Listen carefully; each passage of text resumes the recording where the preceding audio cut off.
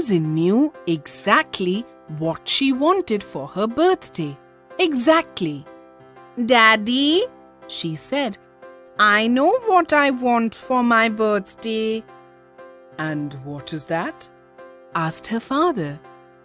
I'd like to have our family go somewhere together, she said. Where? asked her brother Steve.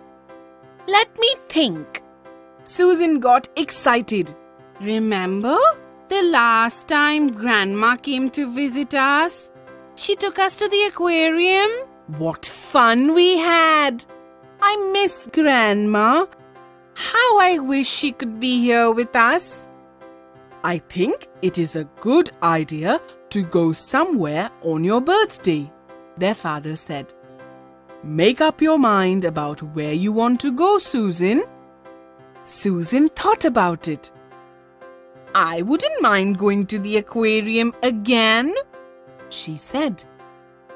I think a new place would be better, Steve said. Maybe, Susan replied. She thought again.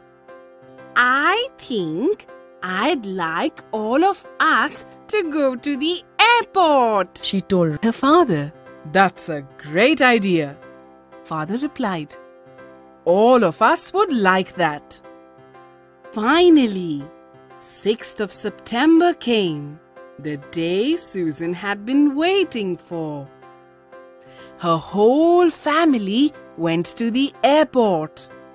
Susan watched the people who were waiting to board the planes. They were all busy getting their bags checked. A voice on the public address was announcing about planes that were departing and arriving. But no one seemed to be listening. There were machines for everything. Susan had popcorn out of one machine. Steve had peanuts out of another. Her parents had tea out of a machine that made tea. Susan had never seen so many machines in one place before. Susan looked out of a big glass window people were getting off a plane. There's Grandma, she said excitedly. Surprised? Steve replied. We knew that Grandma was coming. It was a surprise for your birthday. And you happened to choose the right place to go. I am so happy, Susan said as she gave her grandma a hug. I just couldn't stay away on your birthday. I had to get here in time to see you blow out the candles on your birthday cake.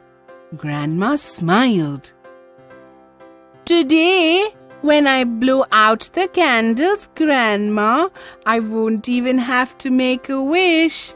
You are. Her voice trailed off.